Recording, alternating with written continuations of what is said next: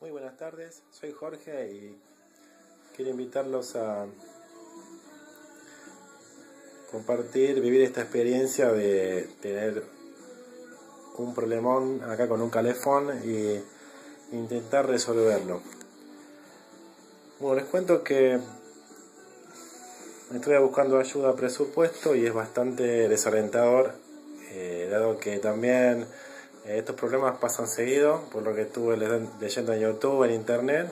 Así que bueno, eh, vamos a tener que, que capacitarnos, por lo menos los que vivimos en, las zonas de aguas pesadas y, o saladas, con sarro, como sea, que ensucian las cañerías, rompen todo y, bueno, de esa manera podamos este, no depender de, un servicio que, es caro y es, poco eficiente a la hora de, contratarlo, ¿no? Así que bueno, les cuento, acá tenemos un calefón tapado que es un Orbis, como pueden ver, serpentina, tuberías canillas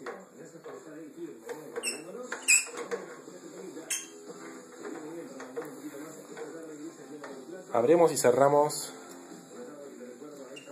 48.000 veces con esperanza de, de que por un acto divino el agua caliente vuelva, pero el agua caliente nunca volvió. Así que bueno,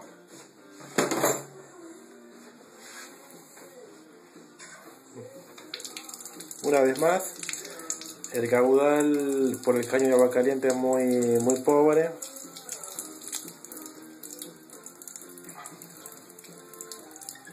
Y por el de fría,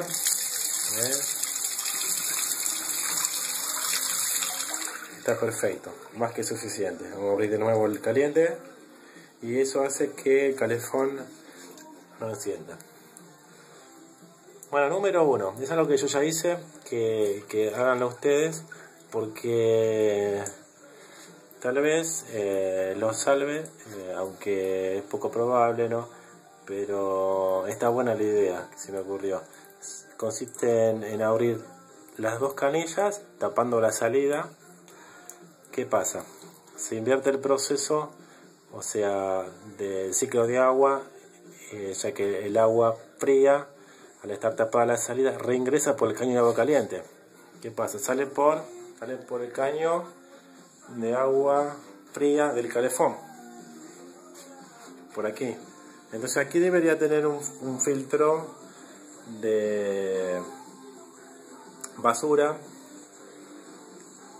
y en el caso que hubiese un cuerito o algo, un pedacito de, de, flón, algo en el caño, eh, les va a quedar acá porque se reinvirtió el proceso y esta se va, a empezar a, utilizar eh, por el calefón como salida ya que eh, nosotros tenemos abierta una canilla en el baño por ejemplo que va, que va a hacer que este sea el ciclo de circulación de agua bueno creo que quedó claro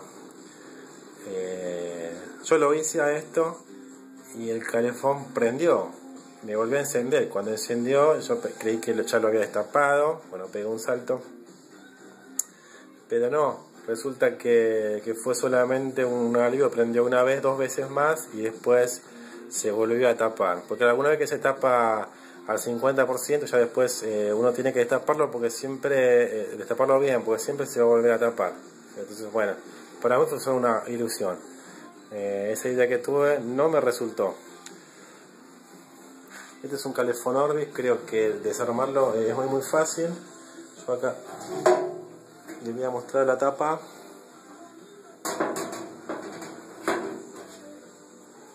Tiene unas trabitas nomás. Ahí, Una y otra del otro lado y nada más. Se desmonta para arriba en la tapa principal previamente le tienen que sacar solamente dos tornilletos.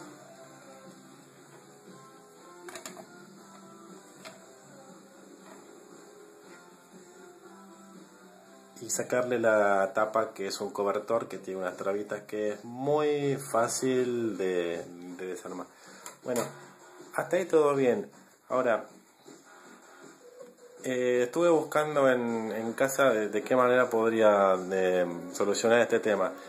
Eh, yo no sé cómo va a terminar este video y yo no sé si voy a poder eh, lograr el objetivo que es limpiar la serpentina. Por eso tengo más dudas que ustedes que están viendo el video, pero eh, vamos, a, vamos a intentarlo. Eh, me puse a buscar algunas cosas que en mi casa que me podían ayudar, pero primero eh, bajo estas reglas. No usar tensión, no usar una bomba de, agua, no usar químicos fuertes como el ácido muriático, porque este, este, no es nuestro trabajo, el mío, por ejemplo, no es, no lo es, y, no, no es la idea de de meterme demasiado en cosas que, bueno, no. Y no se las recomiendo tampoco, es mejor llamar a un especialista, pero dado la experiencia que tuve yo, eh, me voy a eh, eh, meter solamente en la parte de agua, ¿sí? que es. son los caños, la entrada y la salida de las boquillas de agua. O sea, no vamos a tocar en, la parte de gas, no vamos a, arriesgar el calefón porque tampoco queremos gastar en un calefón nuevo en el caso de que tengamos un accidente o, que se nos caiga, por ejemplo, una, una herramienta en, eh, arriba del, creo que esto se llama diafragma, no sé bien, eh, o, o, romper, la, por ejemplo, la manija, el, el, regulador, ¿sí? nada, nada de eso que queremos que, que, nos pase, entonces solamente vamos a limitarnos en, en, la parte de agua y eso eh, incluye no desarmarlo porque Acá sabemos que si queremos desmontar la serpentina tenemos que desarmar esto, este sensor. ¿Sí? Entonces ya es, es un poco eh, tocar el, lo que es el, la parte eh, gasista. Entonces nosotros eso lo queremos evitar. Así que bueno, paso a mostrarles algunas cosas que encontré. Y que sobre las cuales voy a trabajar. Eh, traje todo porque algunos de ustedes, si tienen un modelo de calefón distinto, o lo que sea, una caldera, lo que sea, que tal vez les sirva, y, bueno, les pueda eh, dar una idea, si no, si es que exactamente eso no decir, pero les puede llevar a otra idea. Bueno, esto es una T que estaba por ahí, que puede servir para conectar dos, eh, dos caños, es flexible.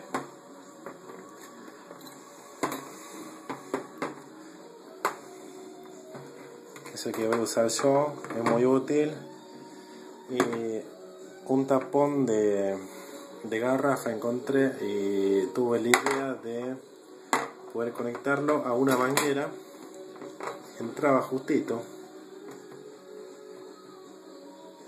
Y la manguera esta entra en la terminal del flexible que tiene una especie de cono, este flexible que tengo acá una especie de cono. Entonces,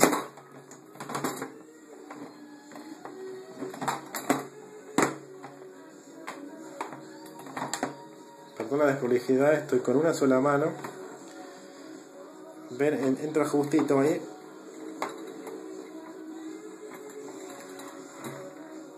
Si lo apretan un poco, como no vamos a usar eh, mucha presión, la idea es hacer un tubo para meter alguna especie de líquido dentro del calefón sin desarmarlo.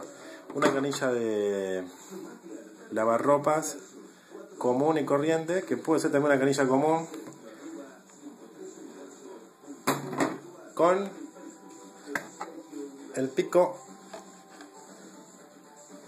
para la manguera de media pulgada que entra exactamente en una botella de Pepsi de litro y medio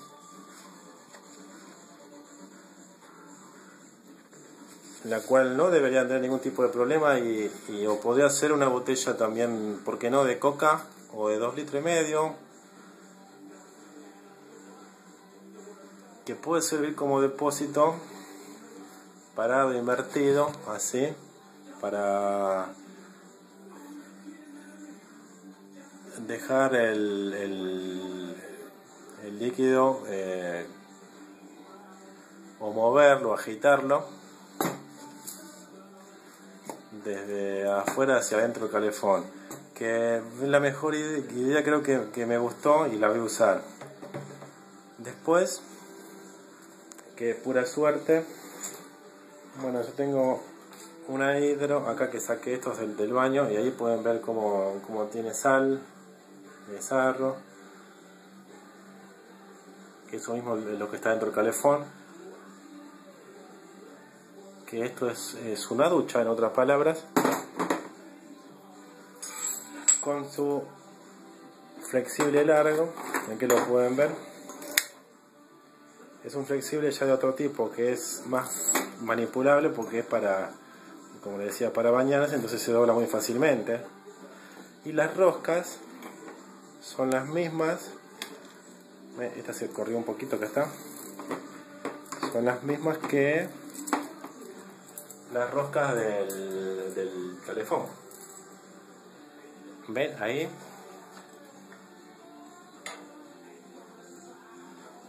tuve suerte de tener esto porque es lo que yo voy a usar para estar eh, más cómodo poniéndole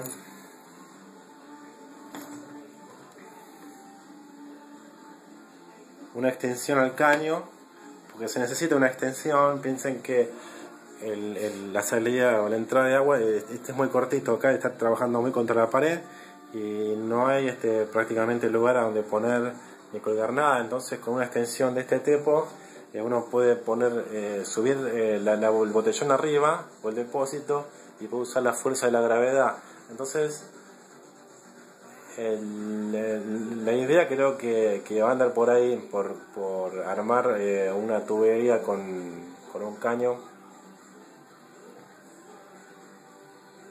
flexible, un depósito arriba y una salida de agua regulable con la canilla, para que cuando queremos cambiar el agua de la serpentina que hay que cambiarlo. En realidad debería estar circulando, es lo ideal, pero como les decía, no tenemos bomba, entonces vamos a abrir la canilla de abajo y, mover el agua. Y tal vez con un poco de, gas o, algún aerosol eh, lo burbujemos para que, tenga eh, más, este, más penetración el, vinagre o el limón, no sé, que le vayamos a eh, poner acá adentro y así podemos mover todo el, sarro de adentro del calefón. Recuerden que el, vinagre es muy muy débil, así que vamos a tener que dejarlo eh, dos o tres eh, dos días, o sea, tres días si quieren, si pueden esperar eh, para remover todo, todo bien como corresponde. Entonces vamos a, a proceder a cerrar las canillas, por favor, y el gas. y crucemos los dedos para que todo esto funcione porque como les decía es, es una recopilación de datos de internet y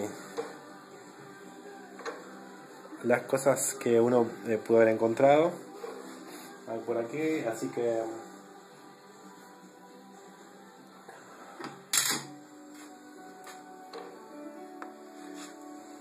solo crucemos los dedos para que funcione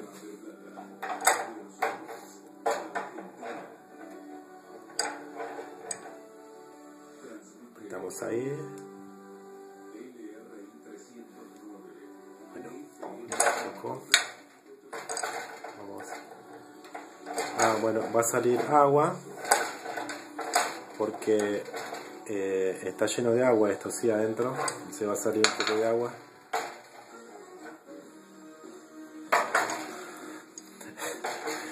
Espero que nadie me escuche hablar solo porque van a pensar que Estoy loco.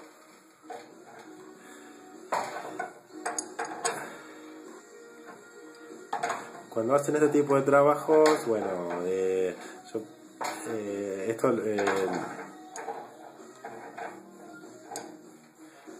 lo empecé a, la noche y bueno, hace realmente mucho ruido, así que lo, lo dejé para después un poco más tarde.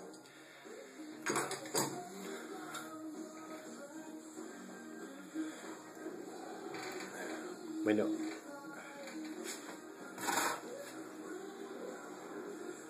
Fuera uno.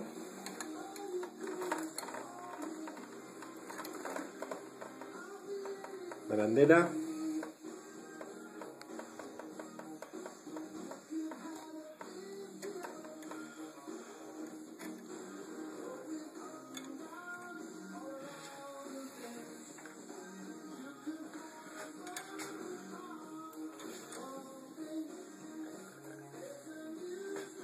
Como yo les había dicho me sacaban el filtro.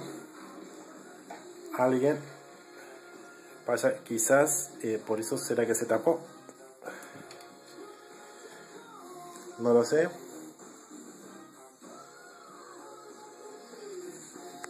El flexible se dobla no lo doblen mucho porque lo pueden romper.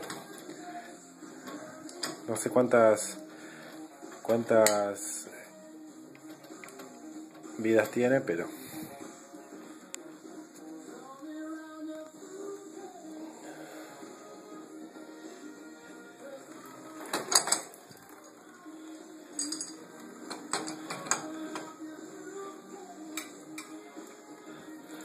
Bueno, acá me gira todo, ven que me está girando todo, entonces eh, no, era, no era la idea, pero vamos a a sacarlo igual, ¿sí?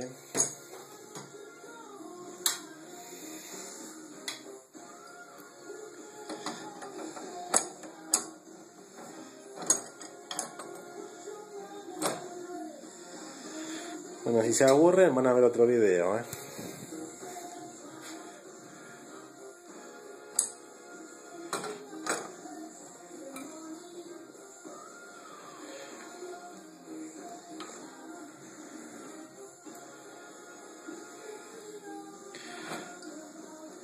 De hecho, voy a cortar el video acá, lo voy a agarrar con una, con una pinza para solamente sacar el flexible, así me queda la cupla adentro de la pared, porque la voy a necesitar después para conectar el, otro flexible que es este, ¿ven? Ahí, que similar o tal vez lo conecte por aquí. ¿eh? ya que no era la idea sacar todo. Esas cosas pasan y, y, se los voy a mostrar en otro video. Así hacemos un poco más, más corto el video. Eso cuando está eh, instalado con, con el, botellón de vinagre arriba. ¿sí? bueno hasta el próximo video entonces y con con los resultados ya de, los primeros resultados de este proyecto.